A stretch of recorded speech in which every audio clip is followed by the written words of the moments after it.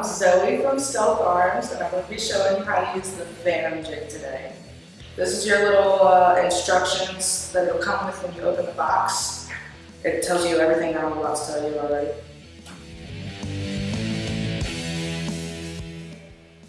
And left side goes on the left side. And then right side goes on the right side.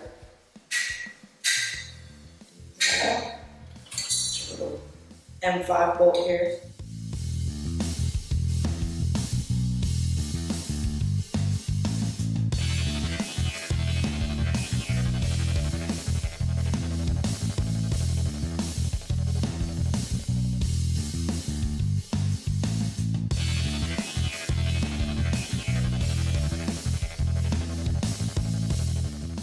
This is going to go here.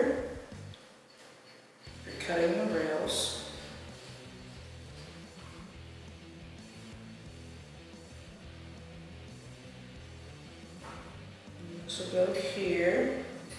So adjusting knob will tell you push the cutter down farther to make it go deeper. And then this is going to get hooked up into a vise. And then this sits along this rail here, and then you just push back and forth, and it'll make little cuts along the rail to form your rail for the slide.